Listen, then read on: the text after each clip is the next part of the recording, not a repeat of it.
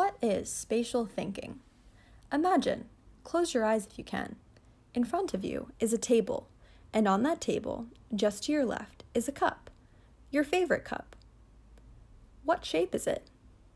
Are there any colors or words on the cup? Where? In what pattern?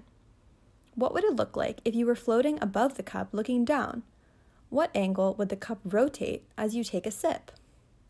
What you just did right there in your mind is one example of what researchers call spatial thinking.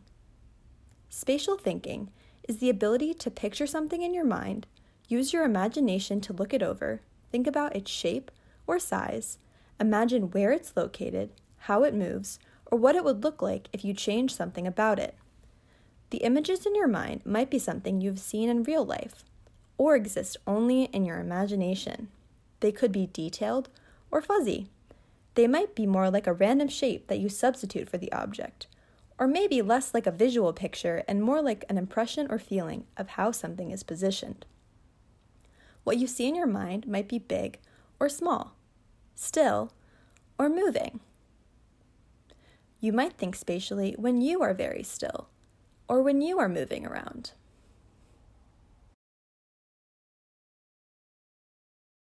You might turn your mental images into words or create something that other people can see.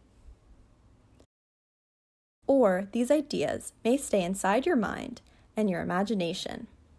So, we want to know how do you use spatial thinking?